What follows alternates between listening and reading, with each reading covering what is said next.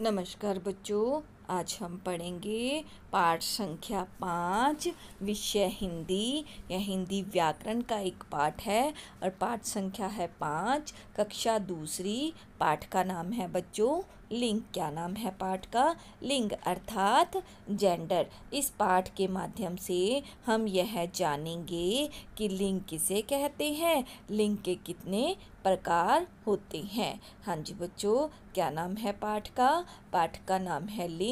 अर्थात जेंडर, इस पाठ के माध्यम से हमें यह पता चलेगा कि लिंग किसे कहते हैं, लिंग के कितने प्रकार होते हैं और कौन सा शब्द स्त्री जाति के लिए प्रयोग में लाया जाता है और कौन सा शब्द पुरुष जाति के लिए प्रयोग में लाया जाता है। इस पाठ के माध्यम से हम विस्तार से जानेंगे। आओ बच्चों, इस पाठ के माध्यम से जाने कि लिंग क्या है?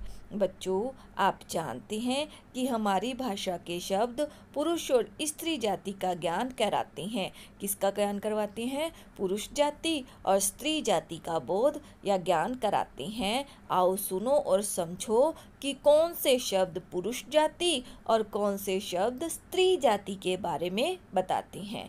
क्या है कि कौन से शब्दों का प्रयोग हम पुरुष जाति के लिए करते हैं और कौन से शब्दों का प्रयोग हम स्त्री जाति के बारे में करते हैं। और इस पाठ के माध्यम से हमें यह पता चलेगा कि पुरुष जाति और स्त्री जाति के लिए किन शब्दों का प्रयोग किया जाता है। देखिए, पढ़िए और समझिए। हाँ जी बच्चों, यहाँ एक पिक्चर दिखाई गई है। फ़र्स्ट पिक्चर में देखो, उसमें क्या है? लड़का, उसके बाद गायक, उसके बाद नाना, पिता, मोर। ये क्या है? इन शब्दों से पुरुष जाति का पता चलता है।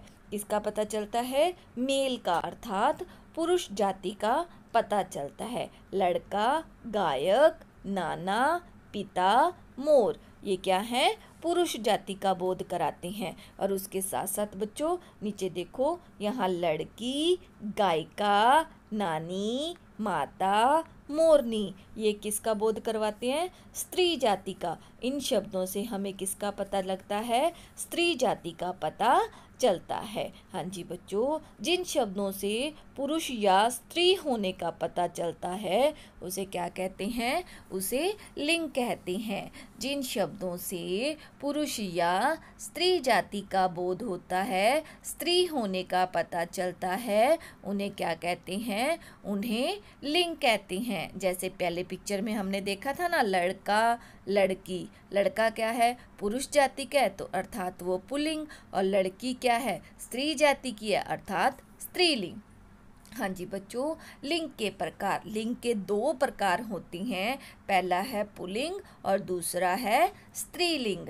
क्या है? पहला पुलिंग और दूसरा कौन सा है? स्त्रीलिंग।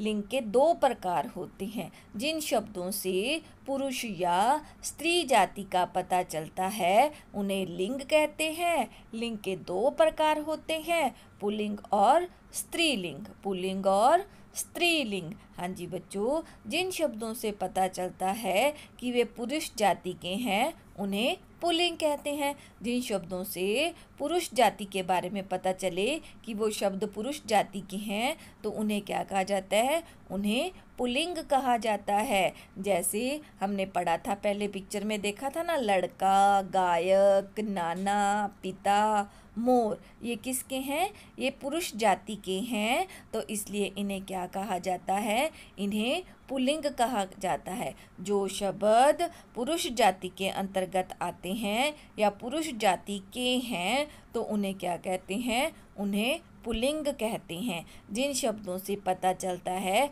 कि वे पुरुष जाति के हैं, उन्हें क्या कहा जाता है? उन्हें पुलिंग कहा जाता है। क्या कहा जाता है बच्चों?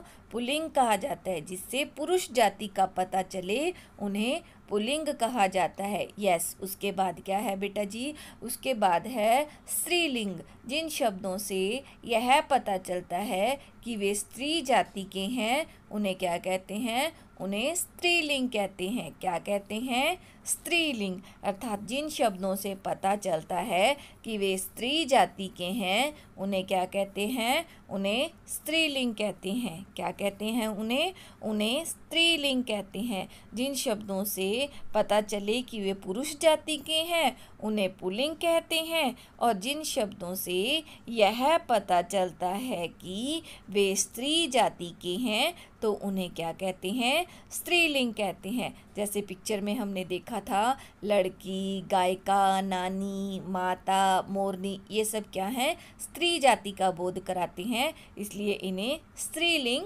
कहते हैं। कुछ अन्य पुल्लिंग व स्त्रीलिंग शब्द कौन कौन से? आओ बच्चे, उदाहरण के द्वारा समझें। जैसे पुल्लिंग में क्या आ जाएगा? दुल्हा, उसका स्त्रीलिंग क्या होएगा? दुल्हन। उसी तरह से पुल्लिंग में क्या है? धोबी, और उसका स्त्रीलिंग क्या हो जाएगा? धोबिन। वैसे ही बूढ़ा बुढ़िया, हिरन, हिरनी गुड्डा, गुड़िया, चिड़ा, चिड़िया, डिब्बा, डिबिया, माली, मालिन, पति, पत्नी, बैल, गाय। हाँ जी, ये पुलिंग थे और इनके साथ साथ उनका क्या बताया गया है? स्त्रीलिंग, जैसे हाथी, हथनी, नाग, नागिन, ऊँट, उटनी, नौकर नौकरानी। दर्जी पुलिंग है और उसका स्त्रीलिंग क्या होएगा? दर्जिन। राजकुमार, उसका स्त्रीलिंग क्या हो जाएगा? राजकुमारी। मालिक का क्या आएगा मालकिन। वैसे ही सेठ सेठानी। शेर शेरनी। अध्यापक अध्यापिका। यस बहुत सारे ऐसे उदाहरण हैं जो शब्द पुलिंग में आते हैं और कुछ अन्य स्त्रीलिंग में आते हैं। जैसे लड़का तो उसका स्त्रीलिंग क्या हो जाएगा? लड़की, गायक, उसका स्त्रीलिंग क्या हो जाएगा? गायिका, नाना, नानी, माता, पिता, मोर, मोरनी। ये सब क्या है? पुलिंग और स्त्रीलिंग के उदाहरण। हाँ जी बच्चों, ये पाठ में इतना ही कुछ था। इस पाठ में अब तक हमने क्या सीखा, आओ रिवाइज करें। यस, जिन शब्दों से पुरुष या स्त्री होने का पता चलता है, उन्हें लिंग कहते हैं। किसका? जिन शब्दों से पुरुष व स्त्री होने का पता चलता है, उन्हें क्या कहते हैं? लिंग कहते हैं। जिन शब्दों से यह पता चलता है कि वे पुरुष जाति के हैं, उन्हें क्या कहा जाता है? उन्हें पुलिंग कहा जाता है। और जिन शब्दों से यह पता चले कि वे स्त्री जाति के हैं तो उन्हें क्या कहते हैं? उन्हें स्त्रीलिंग कहते हैं। क्या कहते हैं बच्चों? स्त्रीलिंग, जिन शब्दों से पुरुष या स्त्री होने का पता चलता है, उन्हें क्या कहते हैं? उन्हें लिंग कहते हैं। जिन शब्दों से यह पता चलता है कि वे पुरुष जाति के हैं, उन्हें क्या कहा जाता है? उन्हें पुलिंग कहा जाता है। और जिन शब्दों से यह पता चलता है कि वे स्त्री जाति के हैं तो उन्हें क्या कहा जाता है? उन्हें स्त्रीलिंग कहा जाता है। क्या कहा जाता है? उन्हें उन्हें स्त्रीलिंग कहा जाता है। हाँ जी बच्चों, जैसा कि हमने पाठ में ऊपर उदाहरण में भी बताया गया था, जैसे अब देखो कक्षा में हम लोग हैं, लड़के हैं और लड़कियाँ हैं। लड़के किसमें आ जाएँगे? पुलिंग में, क्योंकि वो पुरुष जाति से संबंधित हैं और लड़कियाँ हैं जो वो किस से संबंधित है? वो स्त्री जाति से संबंधित हैं, इसलिए वो किसमें आ जाएँगी? स्त्रीलिंग में। जो जो पुरुष जाति में आते हैं, उन्हें पुलिंग कहा जाता है। जो स्त्रीलिंग, जो स्त्री जाति में आते हैं, उन्हें क्या कहा जाता है? स्त्रीलिंग कहा हाँ जी बच्चों, इस पाठ के माध्यम से हमने यही सीखा कि लिंग किसे कहते हैं, लिंग के कितने प्रकार होते हैं और पुलिंग तथा स्त्रीलिंग की क्या परिभाषा है। हाँ जी, धन्यवाद बच्चों।